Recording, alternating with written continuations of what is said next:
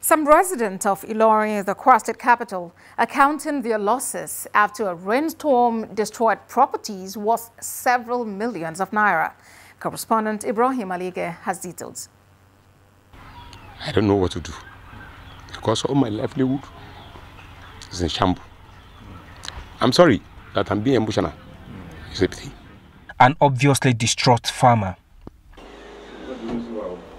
Lieutenant Colonel Abubakar Edun retired from the Nigerian Army in 2015 after serving his fatherland for 23 years.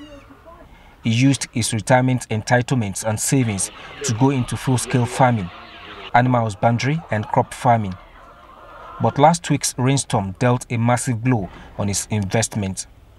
Most of the structures in the farm, including the two big hen houses and fish hatchery, collapsed totally. Because I don't know what I can get out of the whole thing. Because the 22, 23 years I put in the service of the nation, all the little I was able to get at, I invested in farming. So I don't even know where to start from. Sincerely speaking, I don't know where to start from. Because all the little I gathered for the past 23 years is what I can see in pieces now. I'm in total disarray. I don't know how to express myself.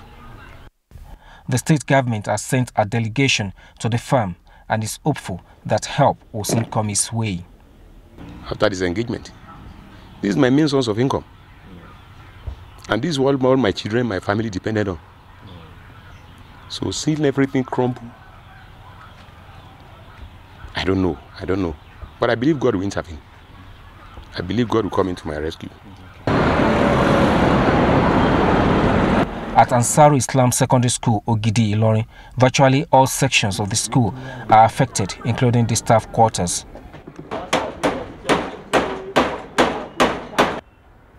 Majority of the students of this school are science students, but the rainstorm destroyed their laboratories and ICT room.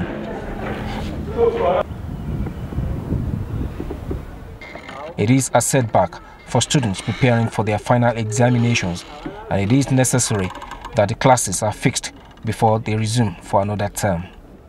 This is not the first time that buildings within Ansar Islam Secondary School Ogidi Ilorin will be destroyed by rainstorm. In fact, it's become an annual tragedy and finding a lasting solution is indeed sacrosanct.